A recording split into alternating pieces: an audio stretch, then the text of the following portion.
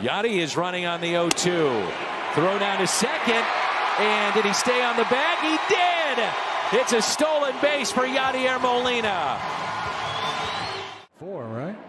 Went rather well. There goes Big Papi. The pitch is down and in, and David has a stolen base.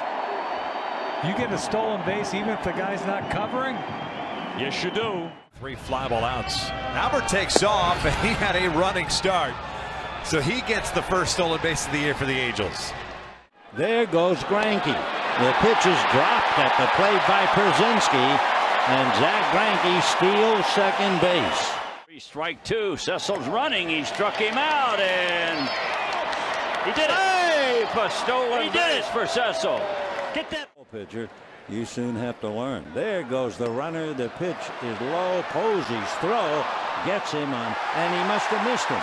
Whoa. It was a very awkward slide by Turner. One, two. Calhoun takes off. The throw is inside. The throw sails into center. Kole will head to third. I'm trying to figure out how that ball uh, didn't hit Freese. I thought for sure it hit him. Yep. The stolen base and an error on. Cabrera on his way to third. The throw into left field.